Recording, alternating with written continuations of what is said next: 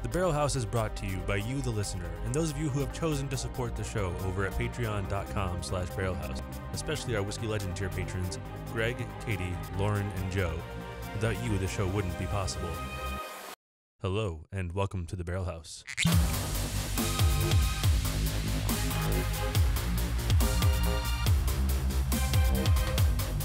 Hello, and welcome back to the Barrel House. I am your host, Joe Kane, and this is the podcast where we take our whiskey journeys together. No matter what level of experience you are, you're in the right spot. Today, we're going to come back strong.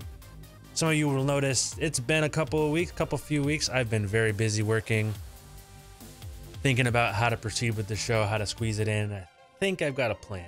And I'm happy to be back, and I thought no better whiskey to come back to than the one, the personally my mother of all whiskeys here, the Ardbeg Uigeadail. Uigeadail.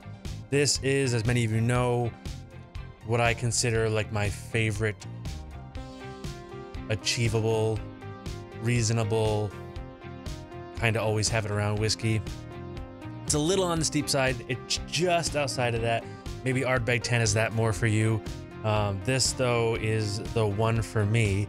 Um, some of you might recall when the first episode, when I discussed Ardbeg 10, how that was the first whiskey that got me into whiskey, really. And it was because I had only really had Jameson and a couple other Irishes, maybe some Jack, because that's what everybody always has around. And I kind of had like a specific idea of what whiskey would be like generally. Then I had Ardbeg 10 and realized you could have this huge variety. This, this the the landscape of flavors with which whiskey can reside within is so much bigger and so much brighter and so much more interesting than you would ever know if you just stick to your big brand mainstream whiskeys. Ardbeg 10 was that open to me. I talked about how it has this sense memory to me to like when I first bought my house and I went to the tag sale and got this smoker my friends and I stumbled and fumbled through smoking a brisket in this very cheap $5 rusted out charcoal smoker. And it was kind of a ridiculous experience, but at the end we had this great brisket and a better memory. And I associate that because of the smoke and and meatiness of Ardbeg 10. I connect those things in my head every time I have it. Ardbeg Uigeadail is like the big brother it is the turned up, the dialed up, the this is for real version of Ardbeg 10 to me. Now, Ardbeg definitely has a, a, distillery flavor profile. This fits in that profile for sure. But being sherry cask finished and um, actually might even be totally aged in sherry casks. Now I'm not sure. I'm pretty sure it's totally aged in sherry casks and having that aggressive, higher proof and sherry cask and Ardbeg for flavor profile really marry well to this awesome bottle. So I've talked about it a bunch. I have to do the due diligence here before I get started on the pour, the whiskey itself. I have to thank all of you who support me over at Patreon, especially those of you who have stuck around during the past couple of months where I've had some spotty coverage with episodes because of like the real world around me. I promise I'm working on getting better at that and hopefully you can stick it out some more. Um, this should be the beginning though of more regular programming. That's the word I'll use. More regular programming. And also, I'm to be asking a few people to come on for some slightly different format episodes that will still be whiskey centric. Um, and hopefully we can get some yeses on that. So patreon.com slash barrelhouse. That's where you can support me. That's where you can help me out. That's where you can help make this stick around even when I'm bad at it. Sorry. Very sorry. Um, so let's get into the pour. This is Ardbeg Uigeadail. This is no age statement, single malt whiskey from the Ardbeg Distillery in Islay. The tasting notes on the front say treacle, bacon and bonfires, and This is 54.2% alcohol by volume, non chill filtered. Of course, who wants that? Who wants chill filtering? This thing is leggy and oily and delicious. And I know I've talked about this bottle a couple of times. Um, I've never done a full episode on it though. It has just come up in other episodes because I didn't want to dig into it. Like it's the holy grail whiskey for me. It is the perfect whiskey to price point, whiskey quality, flavor profile, nose, palate, all across to price point for me. This is right up my alley. This is the one for me. And I feel like I always felt like covering it would be like covering the best before I should. But time comes for everything. We must proceed with this. It has to be done.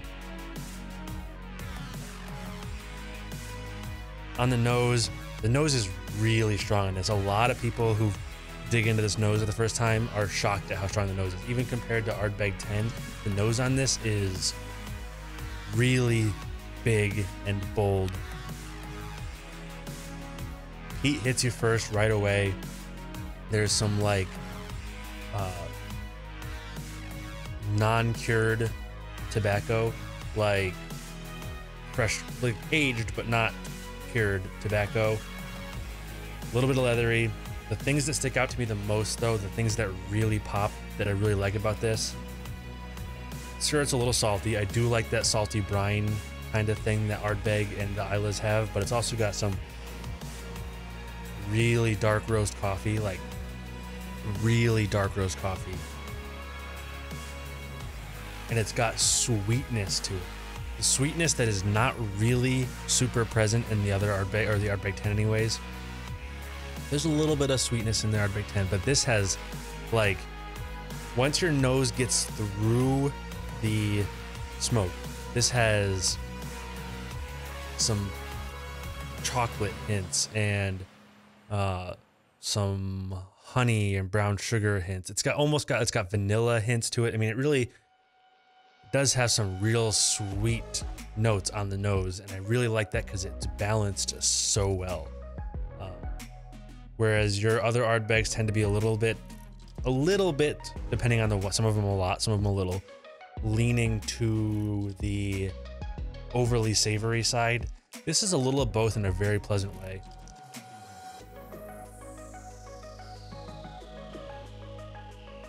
And if you thought the nose was good, ooh, what a good palate. That is such a good, balanced, complex palate. It's warm, but not spiky. The alcohol is definitely there and it definitely hits, but it is not spiky or aggressive or mean in any way. It's just warm, like a nice hug. It's a nice hug. It is. Oh, it lingers. That does linger really well. I get salt, dark chocolate, caramel.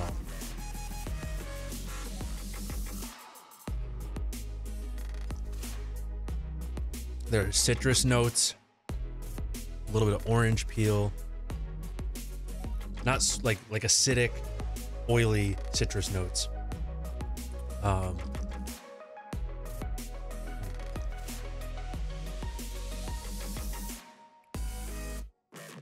maybe a touch of like burnt marshmallow. Like I get a little bit of sweetness in there that almost that tastes like not like a nice perfect brown marshmallow like the eight-year-old stuck the thing in the fire and let it light and then shook it a little bit and then you yelled at him and then he blew on it and blew it out and now it's like this charred briquette. Like that marshmallow. Still sweet. Very fiery. Very charcoal and smoky There's some of that tobacco on the palate. Not a lot though. You really have to dig for it. It's just smoke and peat are really overwhelming on the palate. They're really huge. But all those sweet, lighter notes that come across it, along with the salt, really leave for a nice, balanced evolution. The finish is long and oily and it lingers. It does a nice, the thing I like about the finish on this, some some whiskeys, and you've heard me talk about them before, like the finish just drops and you're left with like one note left very quickly. And even if that one note lingers, you get one note for a long time. This does a nice thing, probably largely in part because it is so oily, where the flavors of the palate kind of peel off one at a time. It does leave you with salt and smoke at the end. Salt and smoke are the things you get at the end that last the longest. But you kind of you can kind of feel the cocoa and the, or the dark chocolate and the marshmallow and the citrus and all those flavors peel off kind of one at a time and leave you left with what remains until you just have salt and smoke. And it is not right away. It takes a little bit but it's really fantastic and then when you are left with salt and smoke it is a pleasant salt and smoke it was like it's like being uh, salt and smoke. Uh, it's like being at a campfire on the beach. That's kind of what the very last lingering flavors are.